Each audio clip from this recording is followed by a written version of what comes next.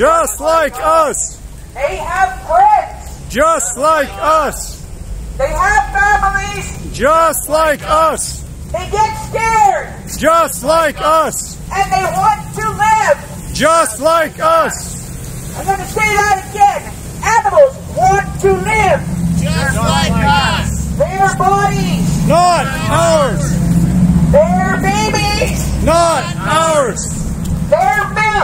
Not ours, Their eggs. not ours, Their skin.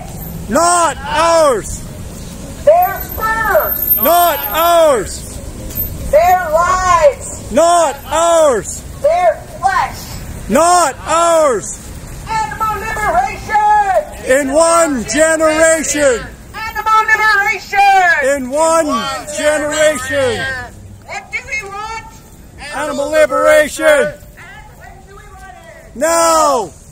do we want? animal liberation, And